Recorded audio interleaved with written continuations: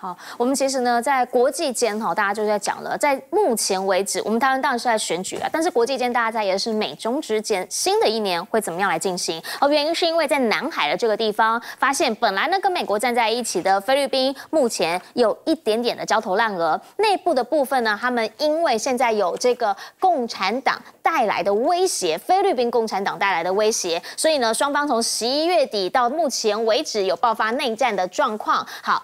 内部的问题必须要解决。小马可是当然还会有什么？之前啊，在南海这一边跟大陆跟中国这边所产生的一些问题跟纷扰，所以现在呢，他希望缓一些了。他直接的讲，中非南海问题希望由菲律宾人自己解决。哎，看起来想要缓一些下来，因为呢，对岸他们的国防部也开始有讲出不会对姿势挑衅。坐视不管，开始有更明确的一个态度来回应了。而美国呢，你会想问这个老大哥，他其实一直给他撑腰。美国一直以来在军事上面，诶，他知道中方是他的一个对手，所以呢，他们其实好几年之前就已经开始在讲了，美国的海军陆战队是不是应该为抗衡中国来转型？三年前就有这样子一个。计划希望能够应对印太地区的军事承诺。好，可是呢，也有人会有所担心了，说这会不会是牺牲陆战队的全球反应能力？而原因是因为你要把这一些的军队变得比较呃快、比较小，然后比较呢重视在海上力量的话，他们也担心是不是为了这个区。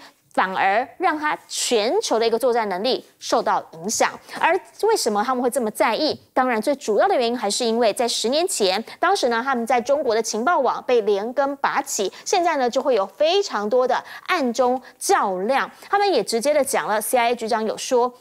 基本上呢，他们已经转向为大国冲突来做准备。他们很在意的其实是到底对于中方内部情资的了解，能不能够重新建立这个情报网。华尔街日报有特别提到了，如果是现在的话，他们确实对于习近平他内部来说，有一种几乎失明的。状态，所以他们希望能够增加自己的情报搜集能力，而内部呢也认为目前的状态就是很难打进，到底知道习近平他的决策圈的状态是什么？当然，中方呢其实近几年他们也一直在做所谓的反间谍行动，也对美方有进行情搜，毕竟。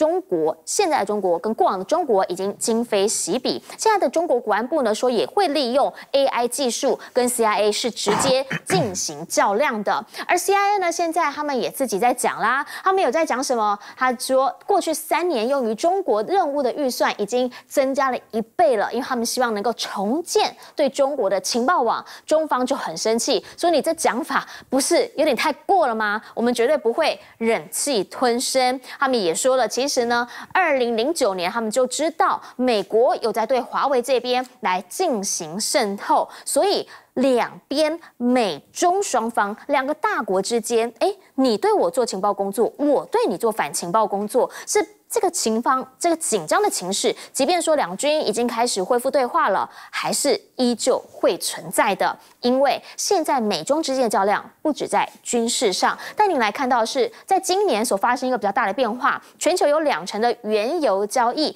目前结算已经不再用美元了。这确实就是在这一年来短短的一年时间，快速的在发生之后呢，还有可能会继续加速。影响的原因除了有战争之外，还有的是。各国他们开始有做不同的结盟，有加入不同的团体，他们开始有不同的思考，全部都是回到自己，为自己出发。那如果是这样的话，跟美国所谓的国家利益是不是就不太一样了呢？回过头要请教赖老师，怎么样来看？好，菲律宾现在呢有点内忧外患，因为他们跟菲共之间的内战最近刚爆发。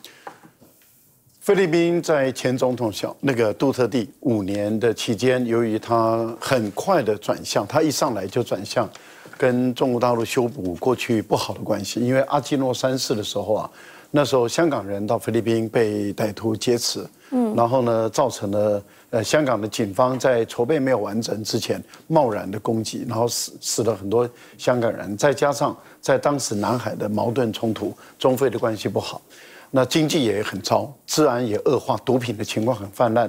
台湾的旅客到菲律宾去也受到很多的的威胁，甚至菲律宾的这些军人，啊，那么杀了台湾的渔船的船长，所以造成了呃也跟台湾的关系很紧张。这个都是在于前一任的总统他本身跟美国的勾连很深造成的一个结果。那杜特地上来了以后，就整个推翻了。他改善了跟中国大陆关系以后，那就用心在治治理内政，跟把菲律宾的经济搞得比较好。所以那个时候，由于呃中非的关系改善的情形下，他不用花很多的心力在南海，他在内部的经济建设建，那么各方面，那么整顿警察、整顿军队，然后内部的经济就一直好起来。小马克思刚上来的时候，跟杜特地是结合的，嗯，跟他的女儿合作。因为北部跟南部，因为杜特地的势力是在南部，小马克思在北部，可是小马克思的力量并不赢，并不足以赢得整个菲律宾，所以他只能够跟杜特地合作。可是他上来了以后，刚开始也是循杜特地的路走，跟中国大陆关系也很好。结果美国施加了很多影响力跟压力以后，小马克思一百八十度转变，南海的地方就越越搞越糟了，越越来越紧张，越来越激烈的情形下。那么中国大陆在菲律宾的投资几乎都停掉了，过去的合作都停掉了，菲律宾的经济开始恶化，经济恶化以后，内部的矛盾越来越起来了。所以我觉得在菲律宾的南部，甚至有很多的穆斯林开始在开始攻击当当地的政府，因为经济恶化的时候，那就过去的这种内乱就开始出现了。杜特地的女儿跟马可斯分道扬镳，我们看到。小马可斯现在又会又回过来，想要修补跟中国大陆关系，可是问题就在于他现在孤掌难鸣，因为他的军方跟随美国走。小马克思他这一次接受日本的访问的时候，他等于是间接的说，都是美国人在那边叫我去搞仁爱礁。嗯，我现在告诉美国人说，我自己来搞，你不要搞。那这不是就是在国际媒体透过日本人告诉全世界说。就是美国人叫我搞的，嗯，那现在的情况是我的军队听他的，而他并不听我，嗯那我现在该怎么办？他也没有任何方法来解决问题啊。好，我们先进一下广告，广告回来我们继续来说。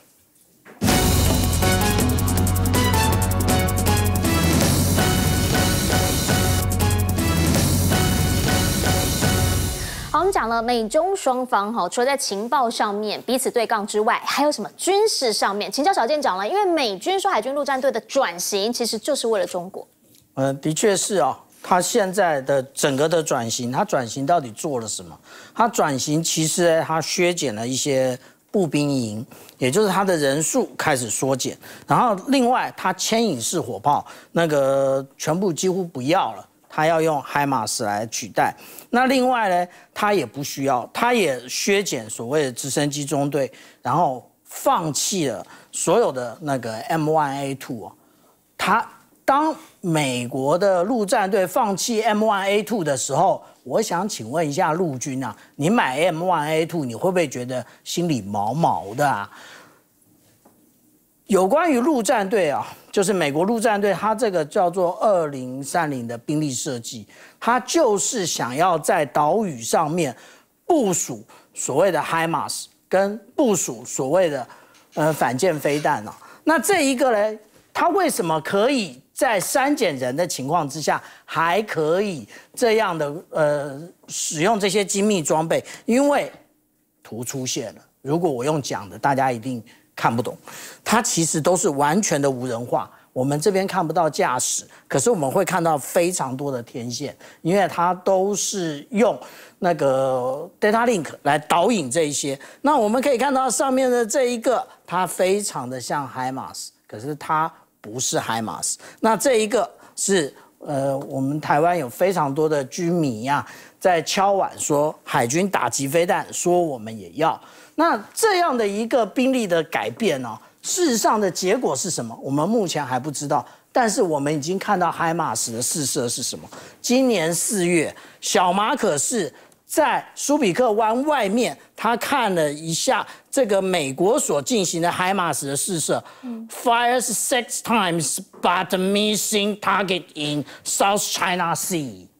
就是根本都没命中，而且是六枚都没命中，你不是开玩笑吗？那而且他在说 Okinawa 在冲绳，他也这上面这部车也是海马斯的车，也就是未来他会成为一个呃陆战队的要角。但是这一个问题跟我们现在所看到的美国海军的滨海战斗舰如出一辙。嗯，当初的辩论其实并没有完成，只是长官说了算，由上而下，结果现在滨海战斗舰变成这个烂样子。然后有长官要站出来吗？台湾没有啊，美国也没有啊，大家都是摸摸鼻子，假装不知道。但是这样的浪费国防预算，对国家来讲都是打击。好，我们先进广告，广告回来，我们要请董哥帮我们总结。